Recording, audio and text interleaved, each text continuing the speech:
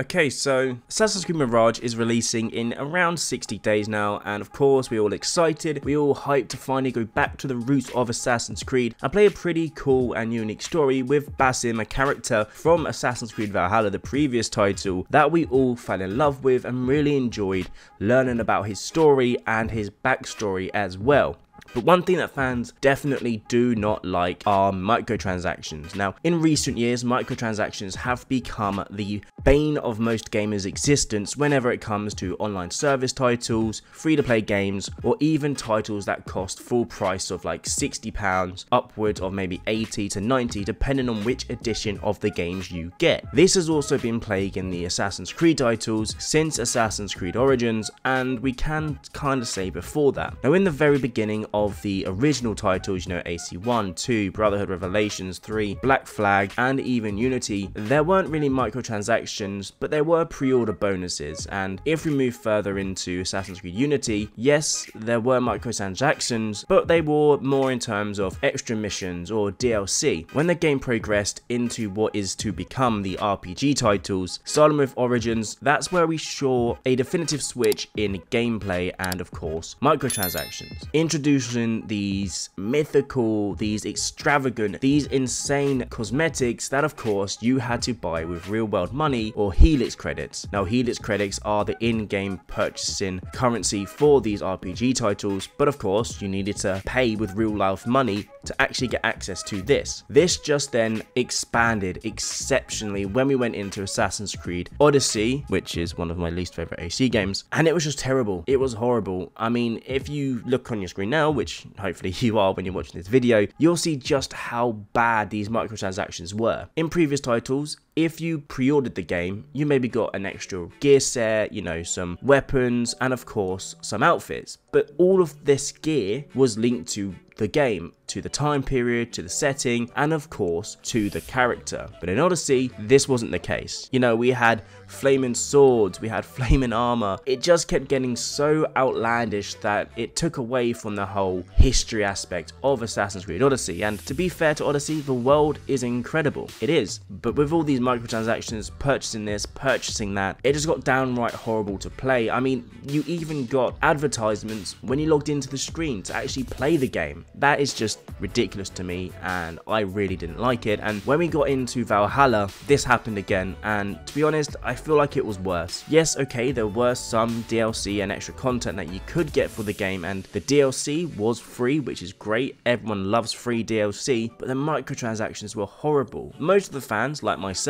we wanted grounded outfits. I mean, if we had a proper assassin outfit for Eivor, hey, maybe I wouldn't have mind paying some Helix credits for it, but we didn't get that. We got some more outlandish costumes and outfits and weapons, all with some different abilities and all that sort of thing in this game. And well, yes, you could purchase them from Reda, who is our little merchant that could somehow travel through time and whatever in the RPG games. I'm not going to go into that because it's silly on its own accord, but that's what we got. You know, you could go around the world and find these different opals and which are gems to find this Reda and you know purchase these outfits. But most of the time you are only going to get them through buying the microtransactions and actually using your own money to purchase them. And then things got worse when we got into the Assassin's Creed Ragnarok DLC. It went full mythical, it went full mythical RPG, and it just gave us so many weird costumes and stuff that felt so outlandish that I said that word quite a lot now. I didn't like it, and I went away from it. I went back to play the older games, especially AC Unity, because it is a good game, okay? It is. But then Mirage came out, came out,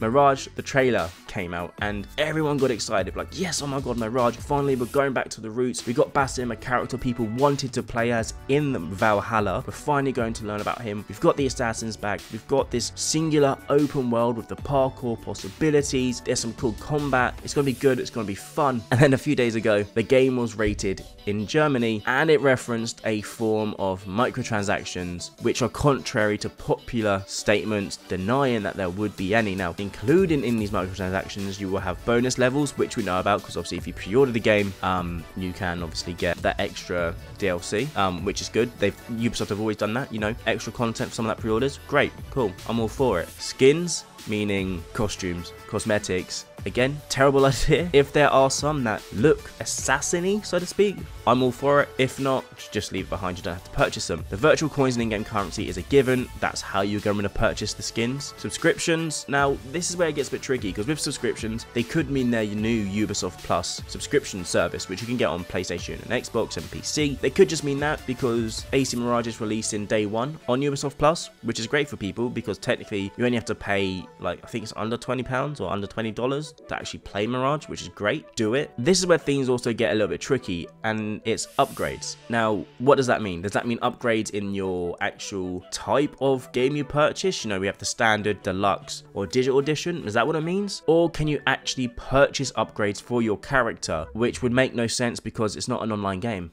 Are, are, they just letting people bypass, you know, the story and, you know, upgrading the character? That'd be a bit stupid. The next thing that really gets me is the disabling advertising. Now, if this is anything to go by, again, this is coming from Access the Animus, who are very, very solid with their findings throughout the entirety of Assassin's Creed, you know, been following for a long time. Does this mean you have you can pay to stop the advertising on the menu? Because if that's the case, then that's just ridiculous, and it's definitely something that shouldn't be in the game. Now, TrueAchievement.com actually reached out to Ubisoft, and they wanted to get some statements on what the actual um, scenario is behind the scenes with these microtransactions. Now, Ubisoft has stated that Assassin's Creed Mirage will feature some cosmetic bundles that will be purchasable directly on first-party stores at launch, meaning their own stores as well as PlayStation and Xbox Store, and of course Ubisoft Plus. They do go on to say that these will be optional and have no impact on player progression, which is great. You know, be cool. You don't have to purchase them, but maybe give us stuff that looks cool and fits in with the setting and time period. That would be great. You know, they also go on to say that there apparently is no XP based progression in Mirage, which obviously is good, but then what does the upgrades mean? You know, that that's what we all want to think about. Now, a few days ago, I obviously tweeted this out and I was really a bit frustrated about it all. But a YouTuber by the name of Jonathan, who, you know, I've been friends for a while and, you know, He's a really good YouTuber, but he does leak a lot of shit, and Ubisoft don't like him, which is fair enough. But the post has now been removed. He shared with, well, in this little tweet longer, whatever it is, an image from Assassin's Creed Mirage showcasing a very mythical, abstract-looking ass cosmetic pack advertised straight on the store, and it does not look good. Now, the reason for this video is I love Ubisoft, and I like their games, and I love playing their games, but these microtransactions are out of hand hand, okay? They're not out of hand in the way of, oh my god, they need to stop completely. They're out of hand in the way of that they're out of touch with what the players want. Okay, maybe some people do love these outlandish looking costumes and characters, but seeing as Ubisoft are supposed to be going back to the roots of Assassin's Creed, it doesn't seem right for them to have this sort of um, cosmetic packs within the game if they were to announce and release some, you know, different costumes and outfits that fit in with the time period, you know, or give us some through actual in-game achievements. As you all know, in Assassin's Creed 2, if you complete a certain objective, or I think it's Brotherhood, either one, you can actually unlock a certain costume for Ezio, which just looks cool. You know, you unlock it in-game, you don't have to do it. The amount of times I've played through AC2 and just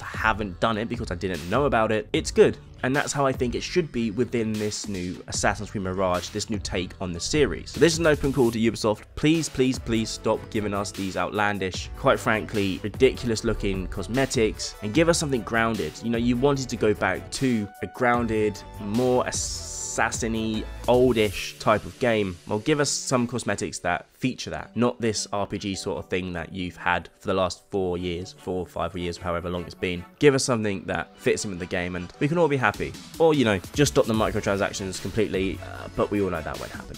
So ladies and gentlemen, in the comment section down below, let me know what you think about these microtransactions and if they impact your thoughts and opinions on a game even before you've played it. And also if you purchase them in game. Let me know down below. Also, if you enjoyed the video, I'd like to be greatly appreciated. Subscribe if you are new to stay up to date with latest and greatest Assassin's Creed information, and hope to see you all in the next video. Bye for now, and have a great day.